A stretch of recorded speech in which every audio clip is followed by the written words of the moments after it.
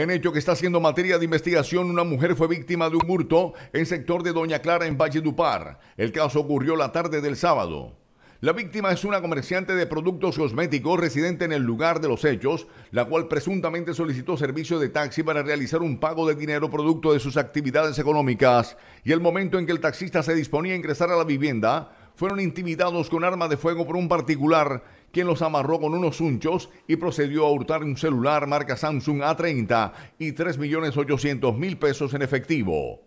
Las autoridades se encuentran en la averiguación de este suceso para dar con la detención del responsable y de esta manera ponerlo a disposición de la autoridad que lo requiera.